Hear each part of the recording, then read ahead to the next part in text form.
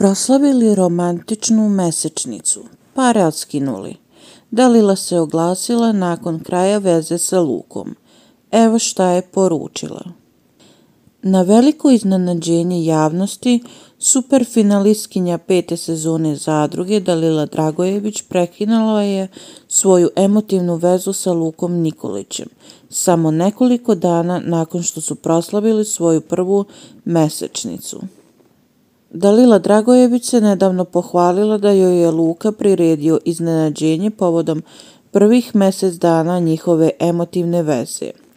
Dobila je najnoviji model iPhona i luksuzni cvetni aranžman, a činilo se da joj nikada nije bilo lepše. Međutim, samo nekoliko dana kasnije svako je krenuo svojim putem. Da nešto nije u redu, odmah su posumljali Dalilini fanovi, koji su primijetili da ni ona ni Luka više ne objavljuju zajedničke fotografije. A ubrzo je sve postalo jasno, kada je otkriveno da više se ne prate na Instagramu. Pokušali smo da dođemo do Dalile kako bi saznali zbog čega je došlo do raskida sa Lukom Nikolićem.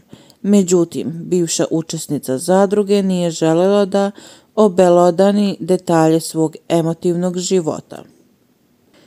Stvarno ne pričam o tome, ništa o svom privatnom životu ne iznosim za medije, kada ne moram. Bilo je sve što je želela da kaže. Podsjećanje radi da Lila i Luka otpočeli su emotivnu vezu tokom letovanja u Budbi.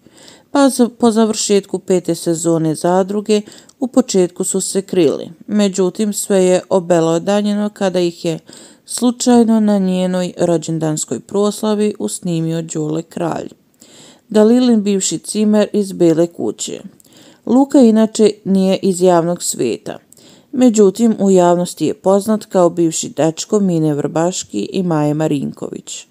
A spekulisalo se svojevremeno da je bio i sa Aleksandrom Nikolić, što je javno demantovao.